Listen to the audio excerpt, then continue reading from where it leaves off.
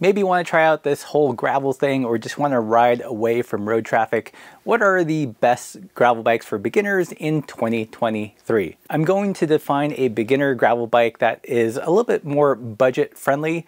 Uh, it's 2023, they cost some money, none of them are free, but in the spectrum of what bikes can cost, these are fairly affordable. Also, I'm going to assume that maybe you don't know which discipline of gravel you want to get into, whether it's doing events or using it as a all-purpose road bike or going bike camping. So these bikes are going to be biased towards that all-rounder bike uh, that offers a lot of versatility. The first one is a crowd pleaser and it is the Kona Rove. The Kona Rove is an awesome all-rounder platform and it's offered in a pretty wide price range from as little as $800 all the way up to $2,600. Uh, the main differences being material and component specs. My pick from the spectrum is the Rove Rove, which is kind of right smack dab in the middle at about $1,600. This model comes with some nice supple tires at 650B by 47. Uh, apparently it's available as a 2x as well as a 1 by. I would personally go for the 1x because it has a little bit lower gearing than the 2x variant. Geometry wise, the chain mainstay is 435, so it's not tucked and squirrely like a road bike. It's definitely in that all-rounder, maybe slightly longer all-rounder category. And the trail figure is a pretty neutral handling 65. It's not super quick in the front and not all floopy floppy. It also has all the mounting points you could ask for in terms of racks and fenders, so really hard to go wrong with the Kona Rove. One more bike from Kona that I've reviewed on the channel is the Libre. These cost a little bit more. Uh, back when I reviewed them, they were sub 2000, but inflation. Now they range from 2,000 to $4,000. My pick in the range is the $2,000 one.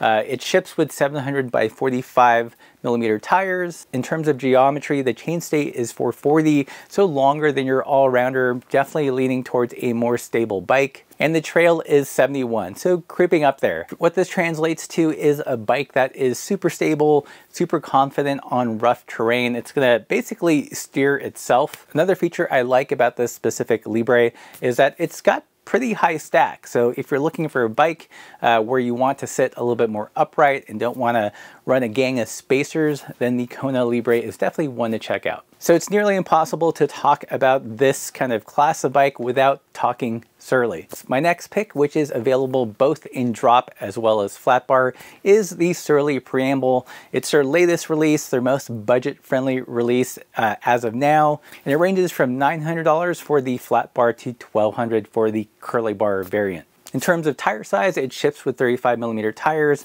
uh, with clearances for 650B by 41 or 700 by 40. It is disc brakes, but quick release. Uh, some people will just freak out about that. I personally don't have a problem. That's actually what this Hachita is behind me. While through axle is nice, it does help you align the disc brake within the calipers a little bit easier. I don't think it should necessarily be a deal breaker. This chainstay length on the preamble is a pretty short 420 and the trail is 64. So for this price point, it's gonna be a pretty surprisingly nimble bike, much shorter than the Kona offerings. So if you want something quick and jumpy, uh, you know, the preamble is a neat bike to check out. Also, it's got all the rack mounts, so super functional. Before there were gravel bikes, there was the Crosscheck. The Crosscheck was kind of the Ur gravel bike uh, that people modified to work for gravel events. Interestingly, in 2023, it's no longer offered with a drop bar, uh, so you can only get a flat bar variant of it. A little bit of a bummer, but you can have a complete bike for $1,000. The tire clearances are 700 by 42, maybe 47 if you really squeeze it in there. And yes, it is a rim brake bike. I think the Crosscheck is definitely one of those bikes that's not super baller, but you will get the nod from fellow bike nerds. I think nearly everybody has owned, ridden, touched, knows a friend that has a Crosscheck. So it's a fun way of getting some street cred without spending a ton of money. The, the, geometry on the Crosscheck is fairly similar to the preamble. Uh, the rear chainstay length is 425 and the trail is 67, so well within that general road bike handling feel. Another pretty awesome beginner gravel bike that I think a lot of people sleep on is the Jamis Renegade. The price ranges from 1,000 all the way up to $4,000 depending on material and component spec. You can get it in aluminum, in steel, and in carbon. What's pretty unique about the Jamis Renegade is that they change the fork offset uh, per the given size of the bike. This is the only bike on this list that does this. Most manufacturers will have one fork made with one fork offset. And to make it fit for different size bikes, they'll just adjust the head tube angle. In essence, you can have a bike model and the smallest bike and the largest bike are gonna ride completely different. But with the Jamis Renegade, they should, at least in theory, ride very similar. My, my pick for the best value would be the S4 build. Uh, so it's steel, it costs $1,400. You get some Reynolds brand name tubing, uh, a carbon fork, that customize offset for the size. Sora components are not super baller, but very functional and it ships with 700 by 37 millimeter tires. The chainstay is 427 and the trail is 65. Uh, again, splitting the hairs of that road handling slash all-rounder handling feel. Can't really go wrong with the Renegade. I feel like you get a pretty unique bike and pretty good bang for the buck. Another brand that a lot of people sleep on, but I think has some interesting options is Marin. I reviewed the Marin Nicasio a couple years ago. The prices have crept up, but I still think for the money you get a fun bike. The price ranges from 900 all the way up to 1700. My pick would be the Nicasio Plus at $1,100. For the money, you get Microshift Advent, the 9-speed version, 11 to 46 in the rear, 42 in the front. Geared a little high for the super steep, but okay for flattish rolling territory. It ships with 650B by 47, uh, and you can also run 700 by 37s in there. The chainstay length is 420 and the trail is 61.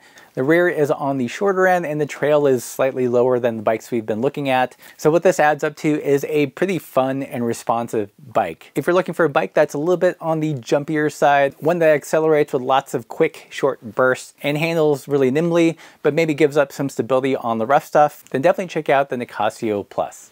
The next bike is also from Marin. It is the aluminum DSX series of bikes. Uh, the price ranges from $900 to $1,600. I think these are pretty interesting bikes because they're kind of like the gravel bike for mountain bikers. Aside from having just flat bars, it has that kind of mountain bikey uh, geometry. It ships with 700 by 45 millimeter tires.